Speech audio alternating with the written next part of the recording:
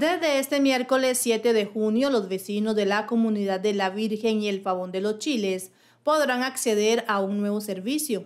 Se trata de las estaciones virtuales que brinda un equipo de computación para que los interesados puedan interponer sus demandas de pensiones alimentarias, procesos laborales, agrarios y demás desde su comunidad sin tener que trasladarse a los tribunales en los Chiles.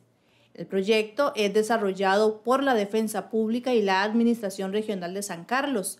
En el caso del Cantón de los Chiles, estas estaciones virtuales se ubicarán en el Laboratorio Tecnológico de la Virgen y en la oficina de la Unión Cantonal en el Pavón. Instalamos un equipo de cómputo con una cámara y un par de firmas y el usuario que desee hacer una consulta legal eh, a través de una llamada eh, una videollamada por Teams, lo atiende al otro lado de la línea, lo atiende un funcionario eh, judicial, que es un defensor público, y le va a evacuar cuál es la consulta que desea hacer.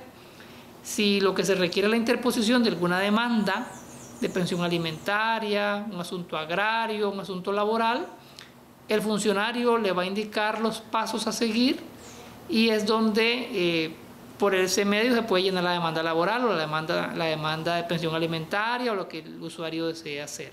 Pero los vecinos de Guatuso también se beneficiarán con este novedoso proyecto, ya que también podrán acceder a él a partir del jueves 8 de junio.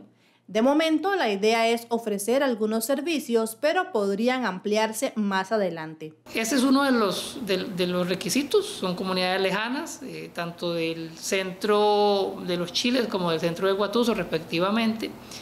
Y eh, se escogen porque eh, esas comunidades mostraron interés y tienen ciertos requisitos que nosotros pedimos.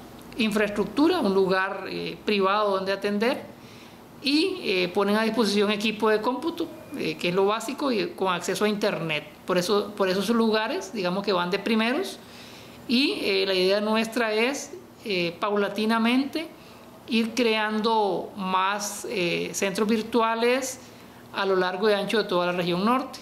Esos dos días se les brindará a la población interesada asesoría legal en temas laborales, pensiones alimentarias, penal, entre otras.